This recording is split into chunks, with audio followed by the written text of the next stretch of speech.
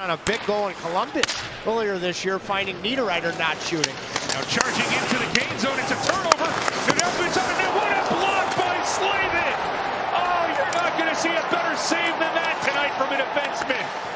Happy birthday, Jaccob Slavin, saving a goal in Vezina-like fashion. He was a goaltender in Colorado as a kid. You better get an extra slice of cake. Uh, played, uh, as we've said a couple of times now, he played goal before he moved to defense in Colorado.